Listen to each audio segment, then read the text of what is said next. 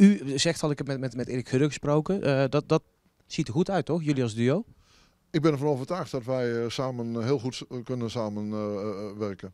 We zijn allebei no-nonsense figuren, allebei harde werkers, eh, recht op het doel af. En dat vind ik ook, dat de, de transparantie binnen de KNVB, dat dat ook verbeterd kan worden. En daar zullen wij zullen overal op elkaar tegen gaan spelen. Had u met een directeur kunnen werken die niet uit de voetballerij kwam? Eh, eh, nee, ik denk dat het heel moeilijk is. Dat je toch eh, ervaring in de. Daar hebben alle clubs ook gezegd. Je moet een, een- man hebben die met eh, de poten in, in, de modder in, uit de voetbalwereld komt. Nee, dat is heel moeilijk. Dat, dat lukt denk ik niet. Wat vindt u het grootste probleem van de afgelopen jaren? U heeft het ook wel eens gezegd van, nou ja, KNVB, zachte heelmeester, stinkende wonden. eh, niet altijd even positief geweest. Ook gezegd, ja, KNVB, in die slangenkuil zul je mij niet aantreffen. En staat u dan toch?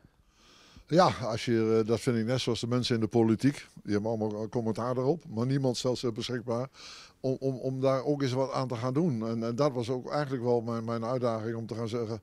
eh, van ja, als je er altijd commentaar op hebt van het is een, veel te veel een ambtelijke organisatie, dan moet transparanter, dan moet open, meer open gebroken worden. Het is te veel naar binnen gericht. Het moet veel meer eh, openheid komen. Ja, daar ben ik wel iemand voor, denk ik, om dat te kunnen realiseren.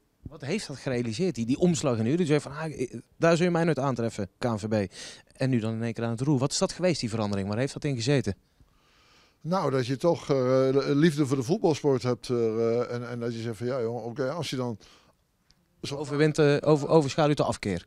nee, maar als je dan zegt van eh, ik, ik heb altijd commentaar, dan moet je ook. eh, eh, en, en ze vragen je dan, ik heb er niet naar gesolliciteerd. Hè, en ze vragen je dan, je zeggen, oké, dan moet je zo flink zijn om die kaart te willen trekken.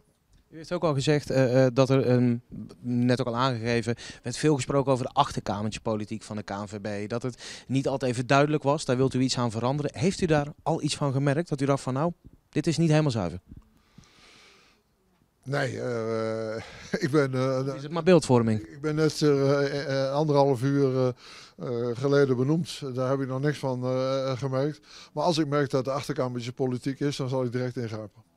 Nou, Oké, nou dan, dan gaan we dat zien. Het belangrijkste wat u gaat doen met de KNVB is... toezicht houden en mede beleid bepalen. Dat schrijft het eh, reglement van de Raad van Commissarissen voor. Stiekem in een achterkamertje, toch het kunstgras eruit. U zult mij niet in de achterkamertje zien. En als ik er zit, dan kom ik eruit en vertel ik alles aan jullie wat er gebeurd is. Belofte. Oké, graag gedaan.